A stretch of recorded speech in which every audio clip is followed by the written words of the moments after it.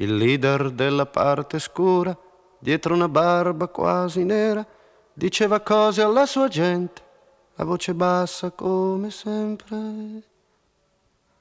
e ricordava cose antiche, proibite ma pur sempre vive, come il martini con le olive.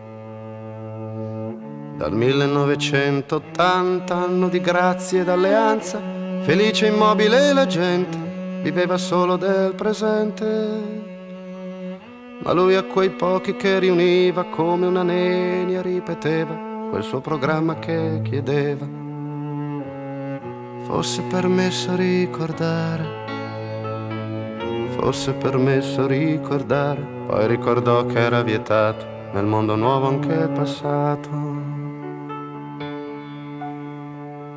E il leader della parte chiara con quella cicatrice amara sul mento a forma di radice gridava basso questa pace. Coi pochi giovani insultava la polizia che costringeva soltanto ad essere felici. Ed abbatteva e rifaceva palazzi d'arte e di cultura e delle bibite del niente, sì, ma soltanto con la mente e all'occorrenza le prendeva, davanti ai giudici abiurava, ma appena uscito risognava. Fosse possibile cambiare, fosse possibile sperare, ma la speranza era un difetto nel mondo ormai così perfetto. E il leader con la cicatrice credeva l'altro più felice e l'altro quello con la barba, di lui diceva è pieno d'erba si sospettavano a vicenda di fare solamente scena, d'essere schiavi del sistema. E l'uno l'altro beffeggiava e l'altro l'uno ricambiava, pur descrivendo alla rinfusa due volti di una stessa accusa.